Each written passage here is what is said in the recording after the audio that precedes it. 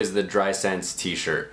This is hands down one of my favorite items overall from Lululemon, but especially for the gym. I wear them just about every single day. They fit extremely well. They're tapered throughout the body and then in the back has an extra a bit of length to it as well, which I think is just a really nice touch and looks really good on all body types.